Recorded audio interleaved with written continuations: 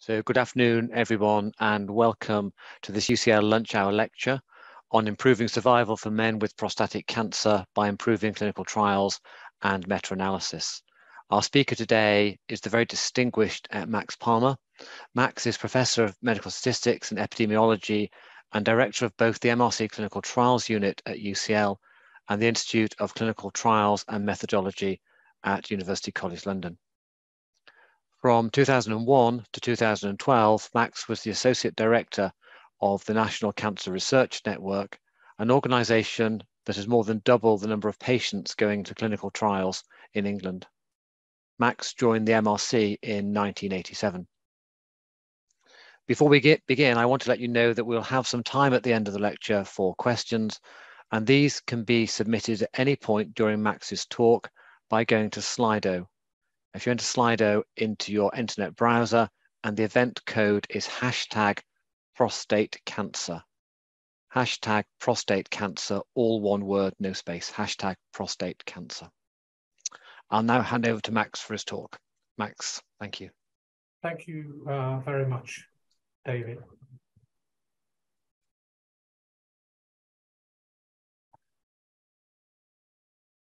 Uh, so thank you very much for giving me the opportunity to give this presentation. In this talk, I'll be talking about how we have looked to improve clinical trials, particularly to improve, in the example that I would give, survival for men with prostate cancer, but also more uh, broadly and, and more globally as well.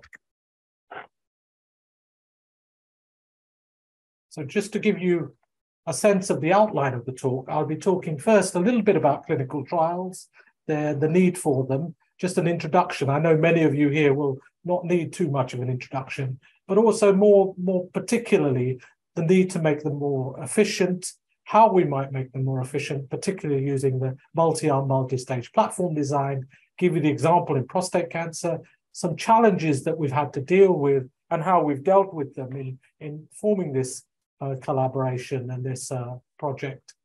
Uh, and then some examples of some of the next steps that we're taking.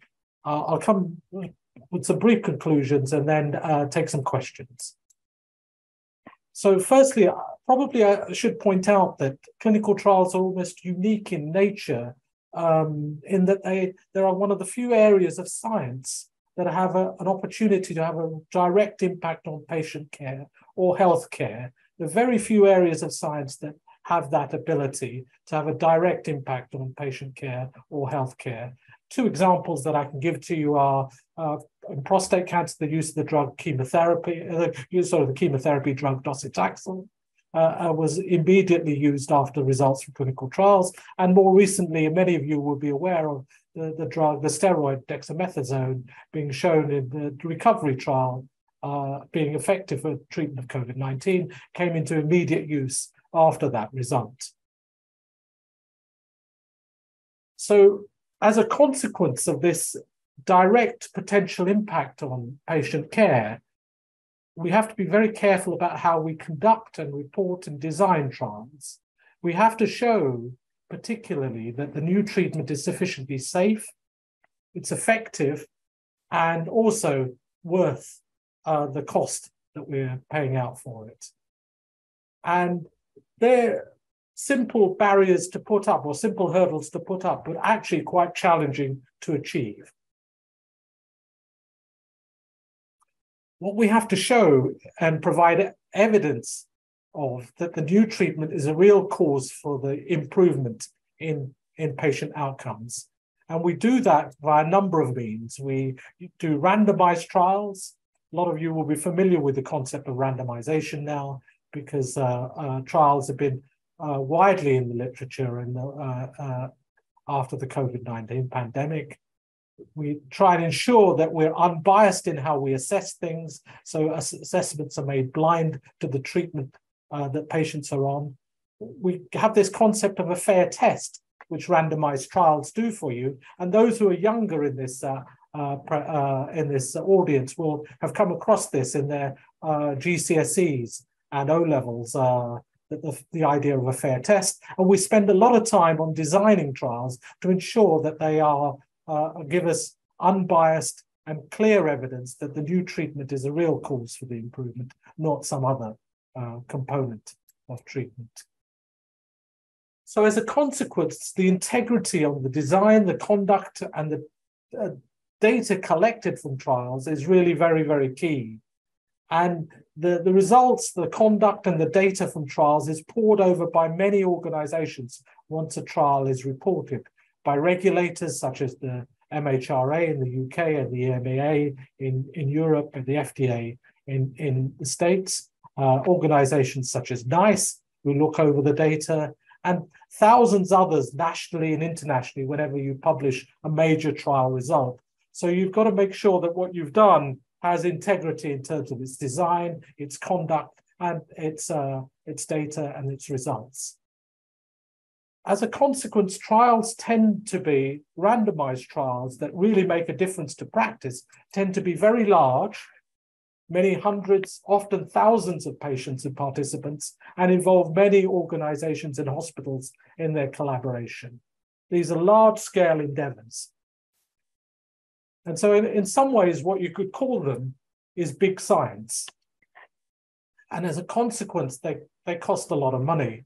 Uh, pharma industry will typically, on a randomized phase three trial, spend many hundreds of millions of pounds.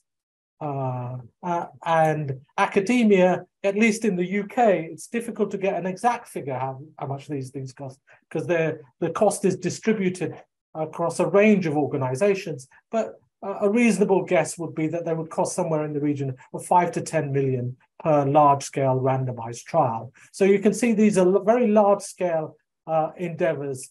Uh, and unfortunately, despite all that uh, uh, input and finance, we still find the development and testing process for new therapies is too slow.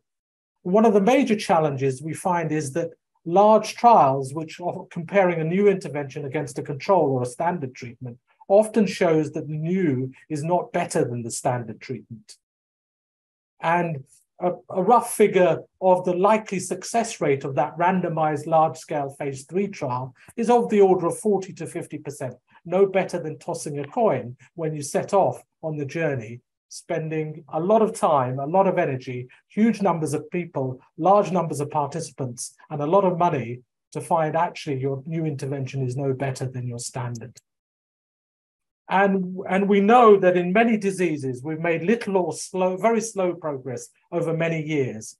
I'll just give you one example Parkinson's disease. Many of us will be familiar with patients with Parkinson's disease or know somebody with Parkinson's disease a very common disease uh, nationally and internationally. And this graphic, uh, which I borrowed from Tom Foltynie uh, uh, at the Institute of Neurology at UCL, shows you the, the, the sequence of uh, uh, treatments which have been evaluated for Parkinson's disease. Um, the, the, the slightly brown block, blocks show you the studies which have been done early on there at the early phase trials. The yellow blocks tells you subsequently the randomized phase three trials. And you can see after the randomized phase three trials, none of those treatments have been shown to be effective or successful in uh, affecting the course of the Parkinson's disease. In fact, we have no treatments uh, for Parkinson's disease which modify the course of that disease. The treatments that we do have are all symptomatic treatments. And you can see a number of them listed on the right-hand side. So despite 20 years of effort, a range of treatments being evaluated there and developed and evaluated, we've made little or no progress in the treatment of, uh, uh, of this disease in terms of trying to modify the disease process. So we need new designs and new approaches to improve our trials. We need um, to respond to the challenge, we have to think that the landscape for evaluation of treatment has changed. If we look back 15 or 20 years, it, um, there were relatively few new treatments coming through to evaluate. Actually, that's changed. The biological revolution um, in the lab has been meant that many new treatments are needing to be evaluated in, in some of our diseases. And that's particularly true, for example, in TB, in cancer, uh, and many of other of our major diseases. And we know the process of developing and starting a new randomized trial is very time consuming. There's a time taken just to do the trial, which is long in itself, but also the time taken between trials is very long. Often there's a two year hiatus between trials. And so we need a step change. We can't tinker around the edges here. We need a step change in how we design our trials and, uh, and evaluate our treatments. And about when we were thinking about this now over 20 years ago, this was the sort of challenge we were faced that we would have a control therapy and we'd have a number of therapies that we would want to potentially test to see if they were better than control, or could we add them to the control therapy to improve outcomes? And this is what we would traditionally have done taken treatment uh, arbitrarily often, taken treatment A and tested it against control, often got a negative result, what's often called a negative result, showing that treatment A is no better than control. Moved on to treatment B after a, a gap, probably of a number of years, moved on to treatment B, equally showing that that doesn't work. And then hopefully moved on to treatment C some years later, tested that against control and seen that that hopefully did work. That could take decades to do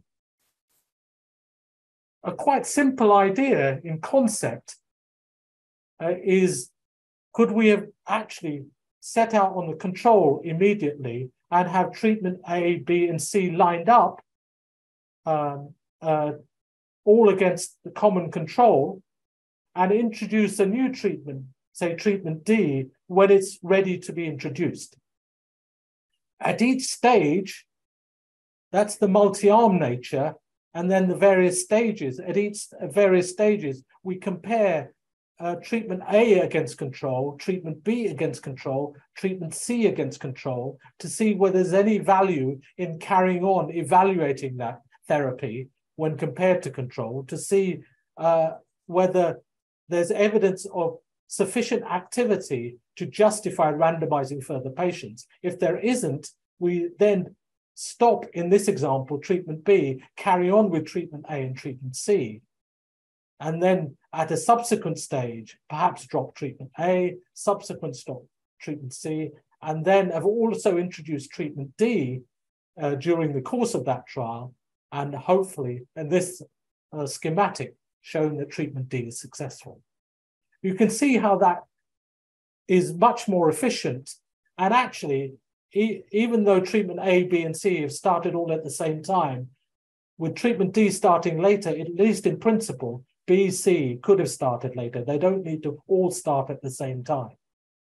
One way of thinking of this design is just a very efficient way of running those two arm trials, which we're showing at the bottom of this slide, in a very efficient way. It's just A versus C, B versus C, B, so A versus control, B versus control, C versus control, and D versus control. And it's much more efficient in time, and of course, much more efficient in patients because you've only got one control group. So that's where the phrase multi-arm, multi-stage platform trials comes from.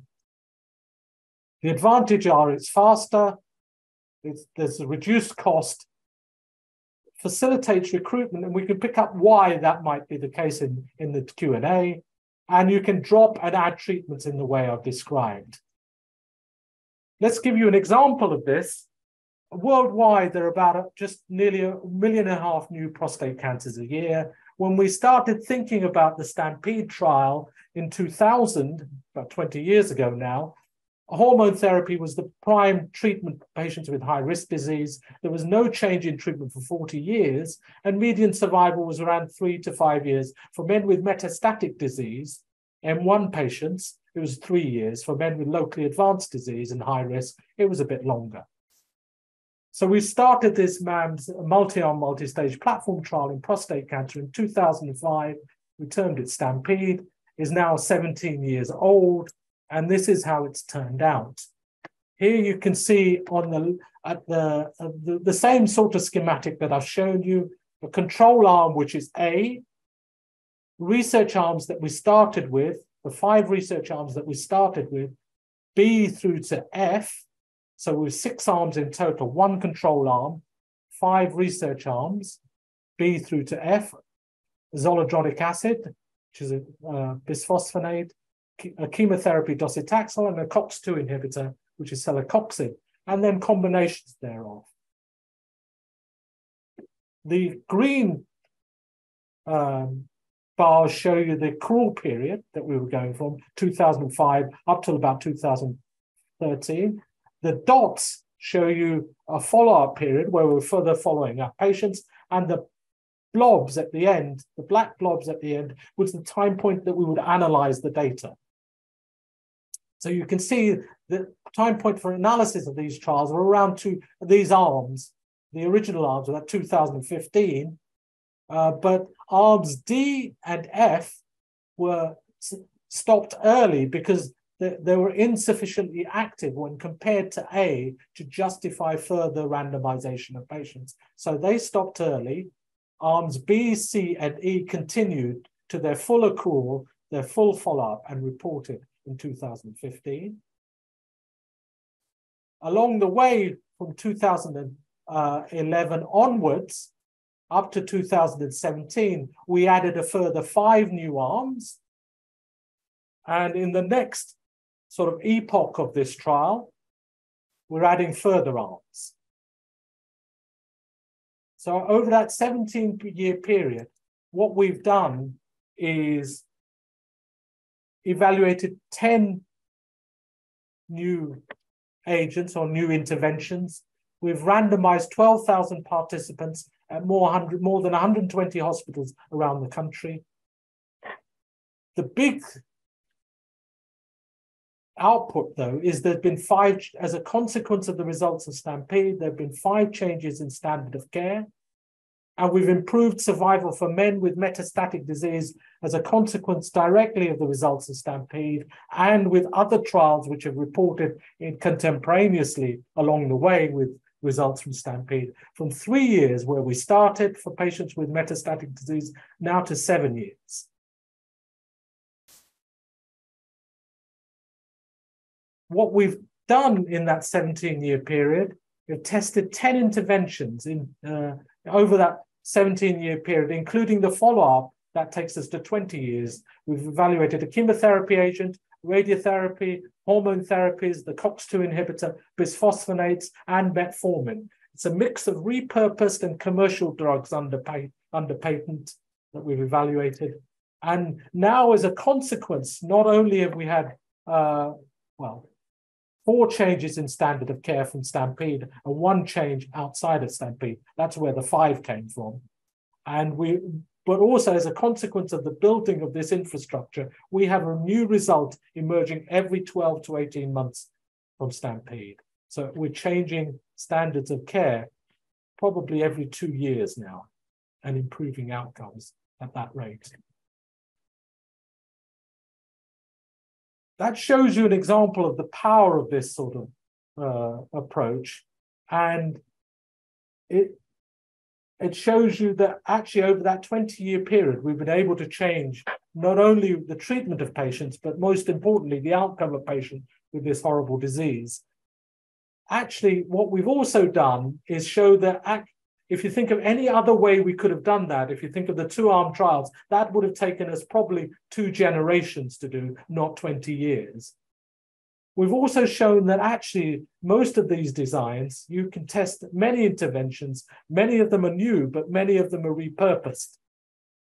And that the pharmaceutical industry is not going to do these sorts of designs because they are really interested in their single treatment for a given disease. They don't often have many treatments that are competing for evaluation of the, uh, the for a uh, effectiveness in a given disease. They're only interested in their single treatment.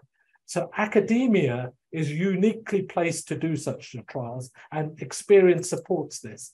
this plot here shows you on the right-hand side uh, the MAMS platform trials that have been done uh, uh, subsequent to Stampede. There are more than 50 there on that right-hand side, including a number of the COVID-19 trials uh, and the recovery trial is a variation of this multi-arm, multi-stage platform trial.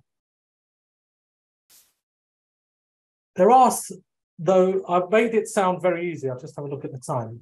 Uh, I made it sound very easy, but there are some significant practical and strategic challenges in doing this little trial and some design and statistical challenges. I'll talk, given the audience today, I'll talk mainly about the practical and strategic challenges and not too much about the design and statistical ones.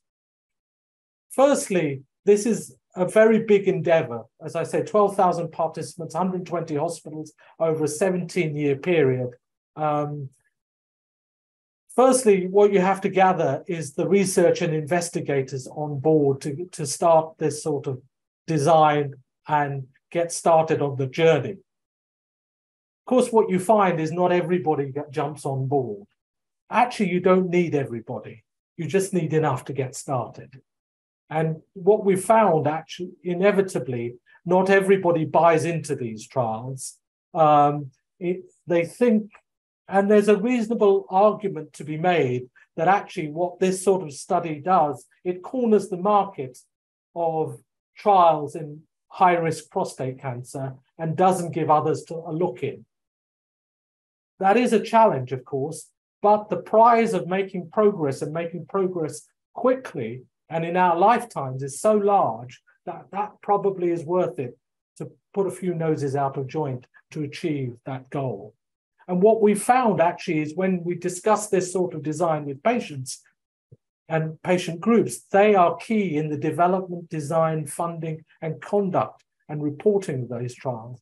They understand that actually, if we come together as a, a national group of, of, of uh, researchers and uh, work together rather than against each other, uh, doing our own studies, we can make much more progress and much faster progress. They have been the biggest supporters of these sorts of designs, and they have been key to getting through funding and review hurdles. Who, if I'm honest, have often been very conservative in their nature of how they might look at these sorts of designs. One approach that we've used, which has been helpful, is that for each new comparison, for each new arm, and remember we have had 10 of them in Stampede, we've had a new clinical investigator leading that arm. And so a national call has gone out for new research arms and for new research clinical investigators, which opens the tent out to as many people as possible. Despite that, there are always, of course, challenges in, in, um, in running such large collaborations. There's also funding challenges. Those who know how funding bodies work, typically a single funder will give you three to five years of funding, perhaps two to three million pounds as an envelope of funding for your trial. But of course, Stampede has been running for 17 years and has cost 10, many tens of millions. What we've done is combine funding from many research uh, uh, funders, both charities, Cancer Research UK, government funders such as the MRC, but also our industry partners such as Pfizer, Novartis, and many others. And anybody thinking of getting these things off the ground is the hardest thing is to get started. So get started with at least two research arms because you've then got a, a multi-arm trial already. Specify that you're going to add arms, go with a single funder, and start with repurposed agents. And I'll talk about repurposed agents in a moment. They've got a, a bad press, actually, and what and I'll talk a little bit in a, in a, in a moment why I think you need to start with them. Part of the reason for starting with them is you're not then dependent on the pharmaceutical industry providing you with their agent. If they're doing that at the beginning of a trial, they may accept, they may expect quite a lot from the trial and may actually require you to design that trial in ways that are not appropriate for an academic trial. And you don't want that level of interference and that level of control at that stage. And we'll come back to some of these issues. Also, in terms of choosing the research interventions, what you want to do is make them as different as possible. In Stampede, we we were making sure that what we did was to make the, interventions that we were evaluating have different modes of action or different targets that we were trying to hit. To, partly to maximize the chance of success of each individual arm, because why would you compare Tweedledee and Tweedledum in different arms? But also, we know that most of our diseases require combination treatment. So, if you're using interventions with different modes of action, combine, uh, you, there's a possibility that you can combine the successful interventions to have added benefit, accumulate, accumulating benefit over time. And that's what we found with Stampede. Let's just turn briefly to this issue of repurposed drugs. What do we mean by repurposed drugs? These are drugs that are already out there, are usually run out of their patent, out of license, and are widely used. And some examples of aspirin. Aspirin is used for a variety of different uh, in, uh, indications. Thalidomide was originally developed for morning sickness, now is used for leprosy and a, a number of different other um, uh, diseases. Uh, and amantadine is um, now being used in Parkinson's disease. Uh, sorry, um, uh, but it's been developed for a number of different other uh, interventions. Other examples of repurposed drugs are all the drugs that we're using, or many of the drugs we're using for COVID 19, examples like dexamethasone, tocilizumab, remdesivir, they're all developed for other diseases, have been repurposed when COVID 19 came around and actually proved very successful.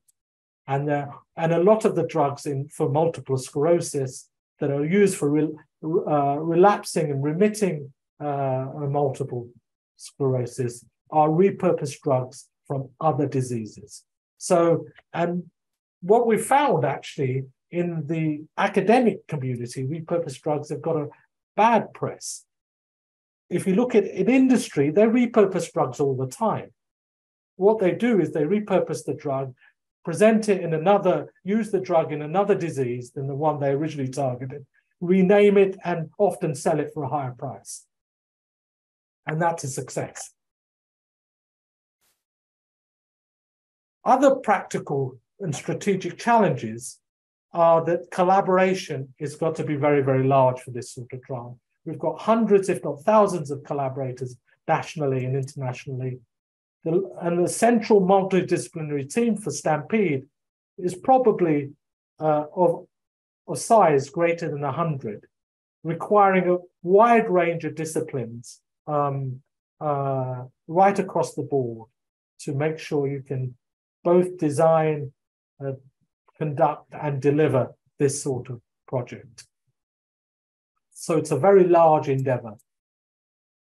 The key component of it is communication, uh, both to patients, doctors, policymakers, that you need to have a communication strategy ready planning for success of research arms, because you've got to work out how you're going to then communicate that to patients. How do you change your protocol? How do you make sure policies are changed? How do you change doctors' prescribing practices?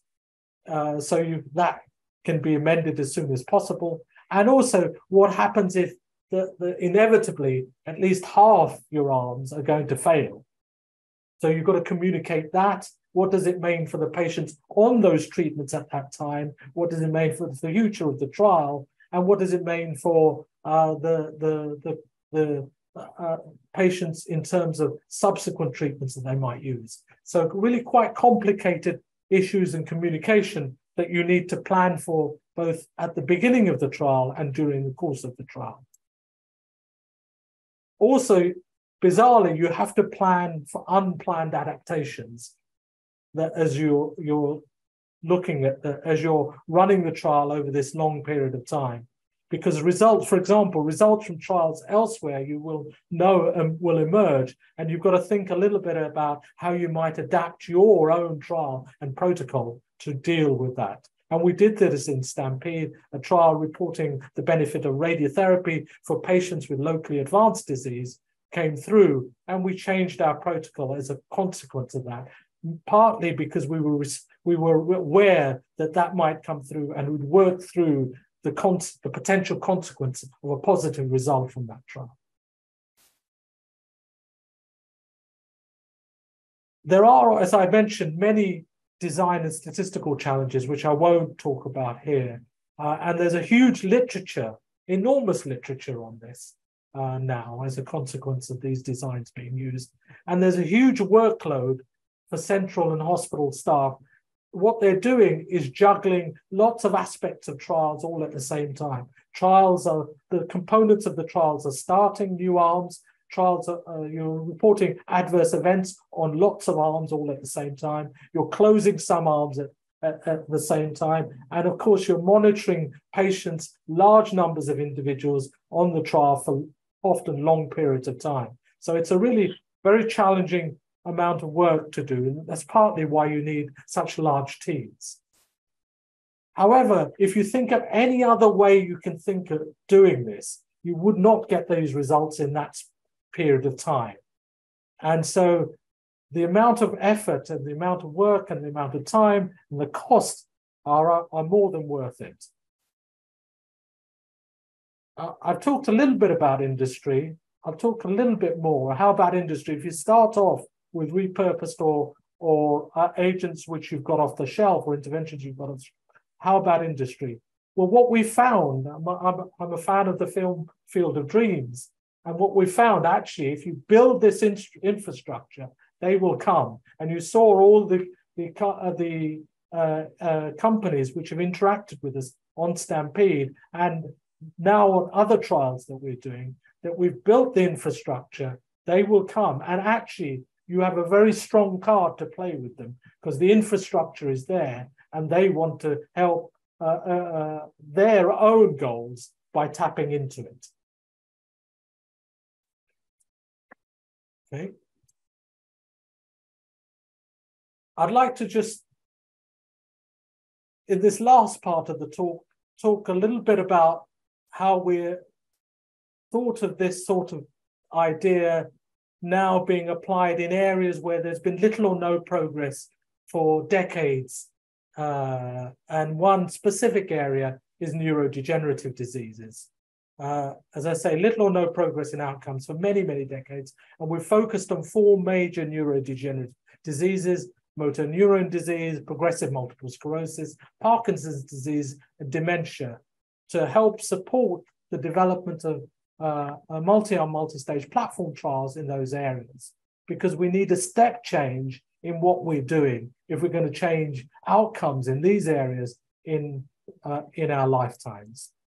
We've developed what we've called this Accord Initiative, which is a collaboration of groups developing and running and reporting multi-arm, multi-stage trials in neurodegenerative diseases. And this is a collaboration of charities and philanthropists, of um, a number of them listed at the top there. There's one, two, three, four, five, six, seven, eight, nine, 10, 11 charities and philanthropic organizations.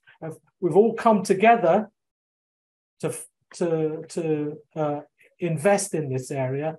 The founding partners are ourselves at the MRC Clinical Trials Unit at UCL, University of Edinburgh, and the Institute of Neurology here at UCL, and our collaborating partners around the country, uh, including a number of academic institutions, uh, major academic institutions, which have an interest in doing trials in neurodegenerative diseases. We've all come together to um, see if we can do better as a as a grouping rather than as alone and why should we come together as a neurodegenerative disease grouping?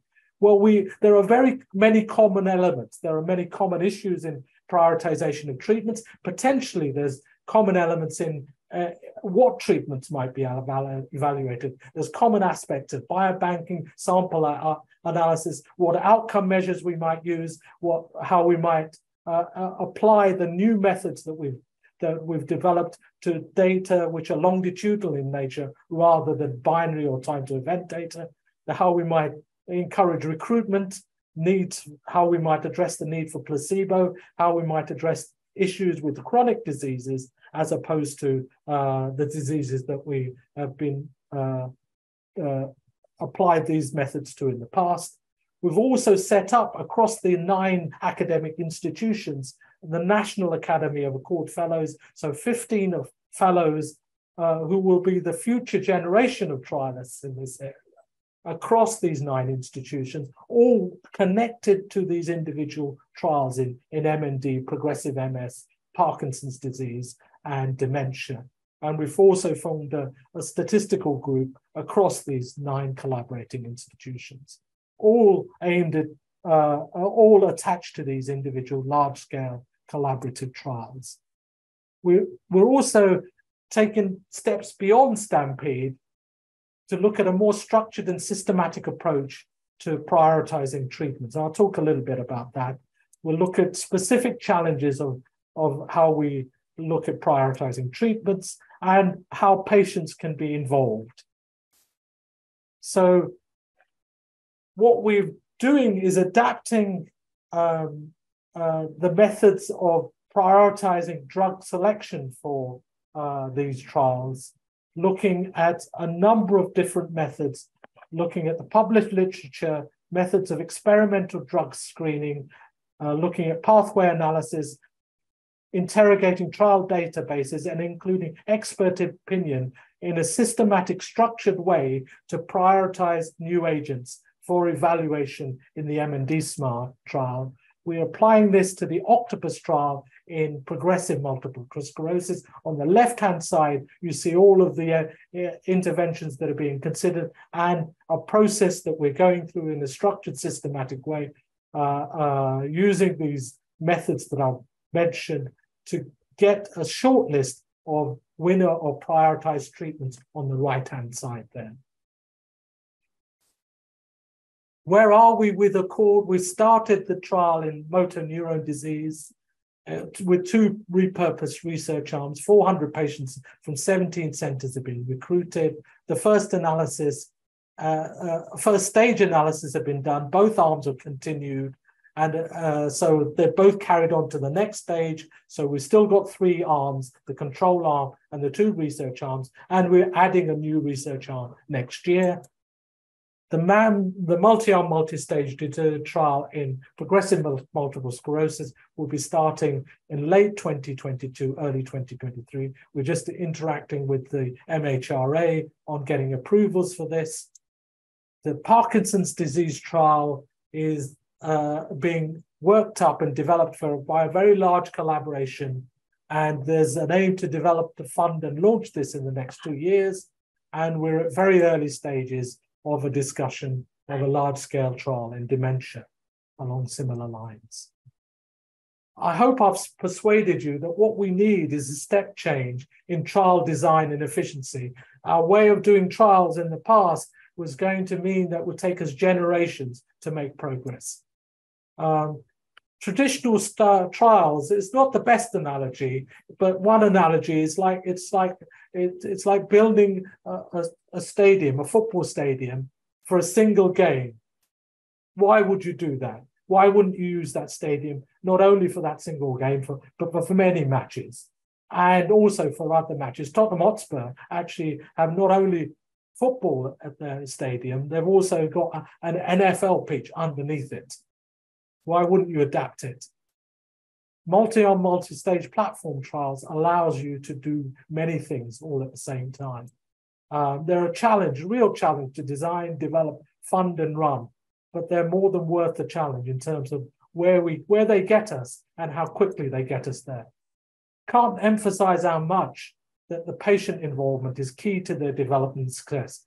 One group gets this and knows the importance of these things. It's the patients, and they are the best voice for these things it's heartening to see that funders are recognizing, now recognizing their importance.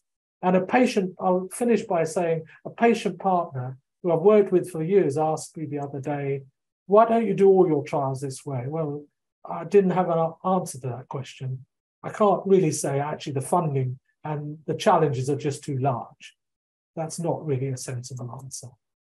I'd like to finish just with some thanks to the many, many people that I've worked with over decades on the ideas and designs of these, these trials, running these trials, the thousands of patients that have entered the trials and the hundreds of patients that I've worked with. And just to finish with a couple of pictures of some of the people that are involved in Stampede over many, many years. Uh, uh, and I'll stop there. I'll leave you. I'll leave you with the picture. Thank you very much.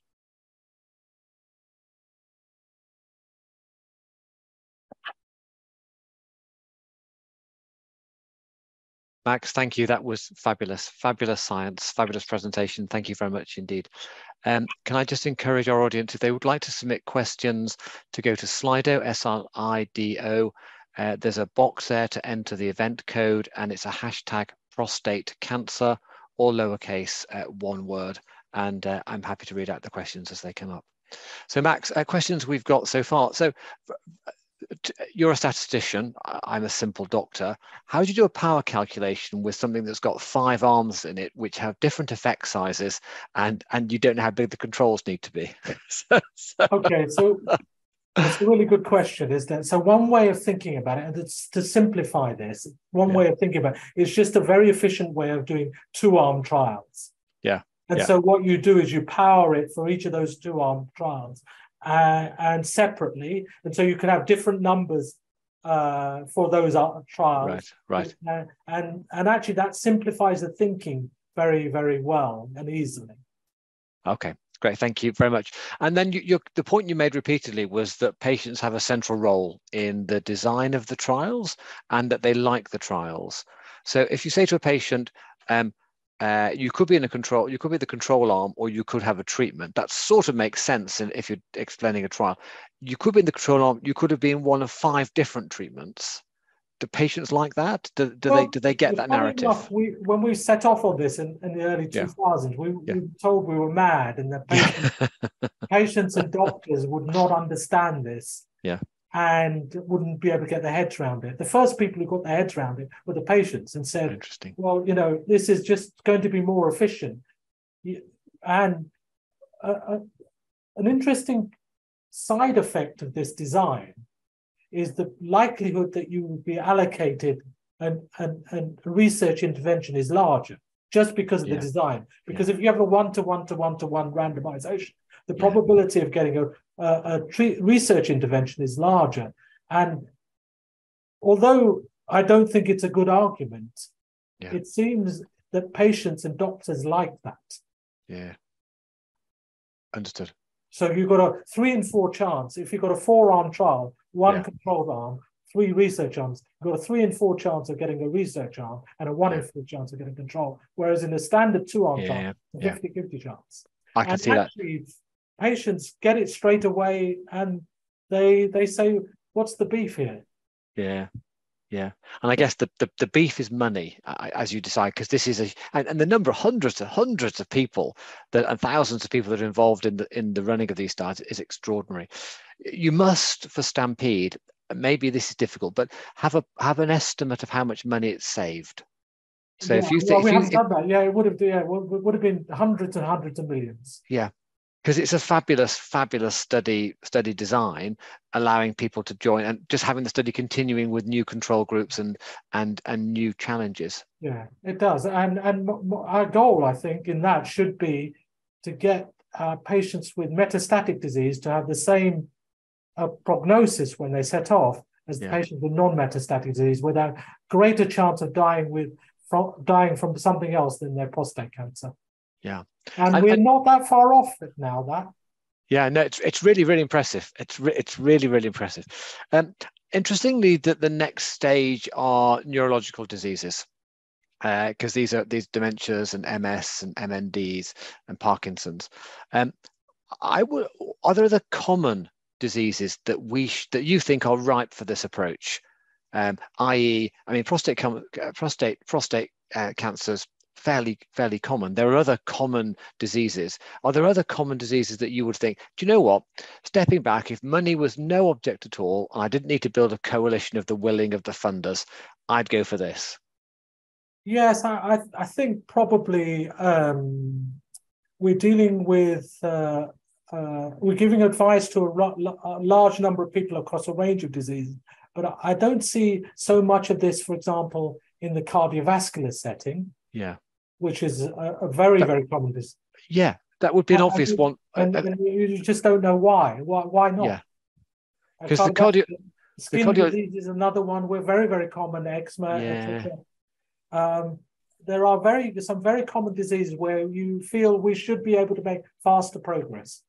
So my, my so the cardiovascular one was the one that I thought of because you know in my early days as a junior doctor I recruited to the various the various cardiovascular studies. I think the demonstration that streptokinase was beneficial in to get to, in myocardial infarction. To give you some idea of my age, Max, I, I was a junior doctor recruiting to those studies. But now cardiovascular diseases um, is so complicated. It, it requires four standard of care is five drugs, for example. So can you do a can you do a stamp can you do a stampede tripe study when you've got that complexity. Just do you yeah. see what I mean? You've, yeah, you just... can. You can actually because um, uh, we're now in that place in in a number of cancers. We're now getting to that sort of stage in prostate cancer. Stampede has yeah. got there. Uh, yeah. We're in that sort of position for COVID. Yeah. Um, and with those, the studies are being done. So yes, you can. Because in in in some ways, it's it's no more complex than doing a two-arm trial. The complexity, if you think of it as lots of two-arm trials, yeah, it's no yeah. more complex. The complexity comes from the, the, the, the, central coordination of it, not at the not with the right. patient, because the, the patient only gets either one research arm or the control arm. Understood. Understood. Understood. And and it doesn't matter if they're on four or five different standards of care. No, no, not at all. Because that's no. that's your that's your control, if you like. Exactly, that's your starting exactly. point. And you're adding to yeah. that. And so we are finding that in, in that um, uh, and in some ways that heterogeneity is helpful too, because you want to know whether your new intervention can add to all of those different standards of care. Yeah, Max, thank you. I don't think we have any other questions. So can I just finish by saying thank you very much. Uh, thanks for a brilliant, brilliant presentation, but perhaps more importantly, thanks for all your hard work, intellect and input in designing this approach, which really has revolutionized the way that we do clinical trials. So Max, thank you very much. Thank you. Uh, can I finish by thanking our audience for, for joining, joining us today and to let you know that the next lunch hour lex lecture will be on the 22nd of November on managing COVID-19. How could we have done and do better? Thanks very much, everyone, and take care. Bye bye.